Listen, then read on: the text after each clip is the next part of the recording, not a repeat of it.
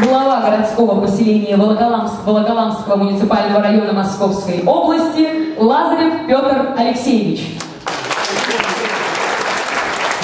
Уважаемые друзья, уважаемые волоколамцы, уважаемые гости, многоуважаемые ветераны, которые здесь присутствуют. Мне очень приятно находиться здесь, слышать ваши слова, но я понимаю, что это только аванс, который вы мне даете для того, чтобы начать работать как бы вперед немножко.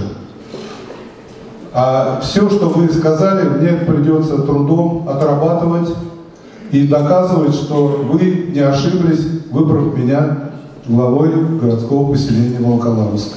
Я приложу все силы э, для того, чтобы сделать наш город краше, лучше, и чтобы в нем жилось нам комфортнее.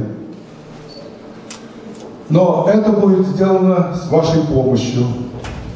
Я хочу, чтобы наше, как говорится, взаимодействие, оно продолжалось, продолжалось взаимодействие, такая, так называемая обратная связь с жителями. Я всегда открыт и всегда открыт для всего, в том числе и для критики.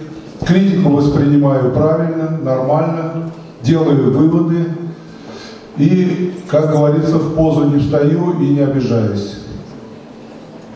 Поэтому я считаю, что нам под силу общими усилиями сделать наш родной город Волоколамск лучше, краше и достойнее.